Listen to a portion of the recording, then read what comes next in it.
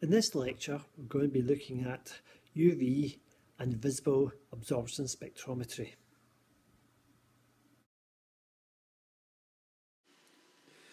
By the end of this lecture you should be able to explain how UV and visible absorption spectroscopy can be used to determine the concentration of compounds in solution.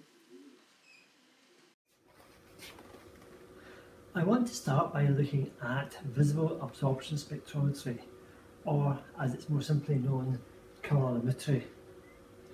And I want to take show, demonstrate it by looking at an example of a potassium permanganate sample.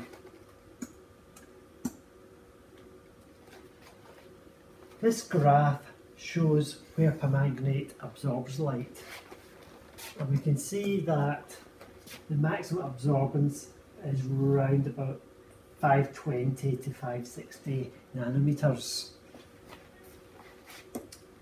If we look at the colour wheel, we'll see that that lies at sort of the yellow end of the green, which means that uh, the complementary colour would be uh, at the violet end of the red, in other words, purple Um, and permanganate has this very distinctive purple colour. Okay.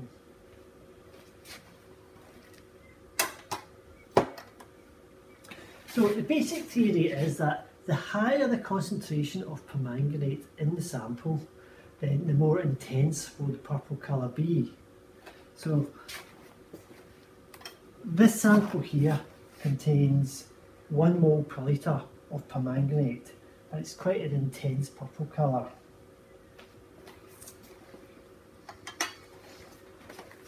The second sample, however,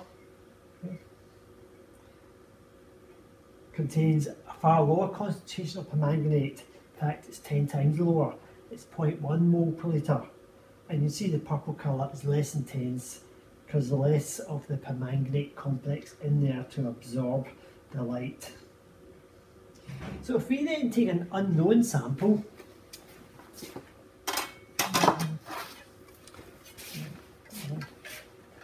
So here we've got a 1 mole per litre, here we've got a 0.1 mole per litre, and here's our unknown sample. But the unknown sample has got a more intense colour than the 0.1, but not as intense as the 1 mole per litre. So the concentration of our unknown sample lies somewhere in between 0.1 and 1 moles per litre, perhaps 0.5 moles per litre. That's the basic idea of colorimetry, although an instrument is used to make the measurements far more precise.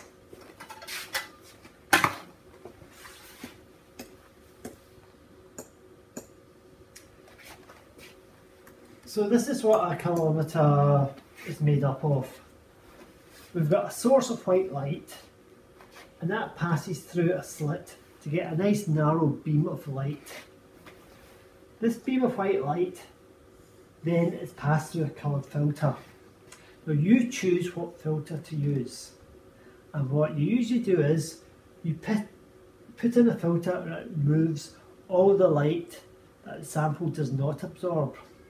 So for the permanganate, we probably want to put in a filter that let through light of about 540 nanometers. Sometimes you don't have a filter of exactly that wavelength, but as long as you choose one near that wavelength, it will work.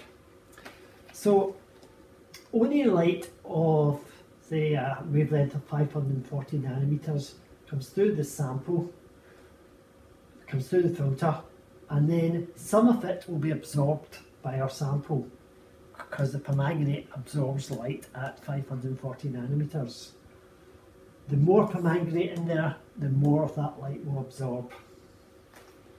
All the light won't be absorbed, so some of it will be detected at the photocell which can then measure the absorbance. And the higher the concentration, the higher the absorbance will be. So when you're doing colorimetry, what you do is you make up a series of standard solutions of known concentration of permanganate, or whatever you're analysing. You then measure the absorbance for these known concentrations and construct a calibration graph.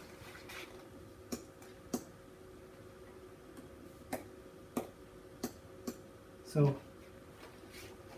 here are the points collected from our standard solutions. We then draw a best fit straight line through the samples and then we measure the absorbance of our unknown sample. So say for example we've got an absorbance of 0.8 then going across to our best fit straight line we find that the concentration was 19 and that's the basic theory of how we can analyse the concentration of an unknown by colorimetry. You will get a chance to do this in experiment 6 where you in fact measure the manganese content of a paper clip by colorimetry.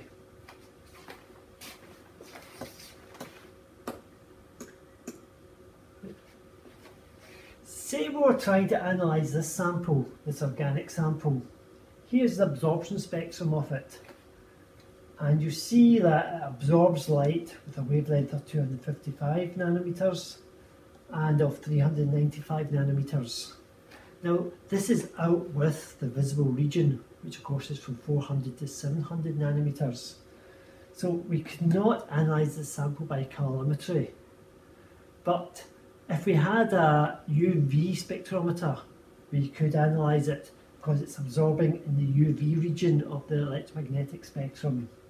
So although the a UV spectrometer is far more expensive than the colorimeter, it, and we don't have one at school, it works on the exact same principle, only in this case uh, you're absorbing light from the from out with the visible region within the UV region but we do find often that organic molecules do absorb light in the UV spectra.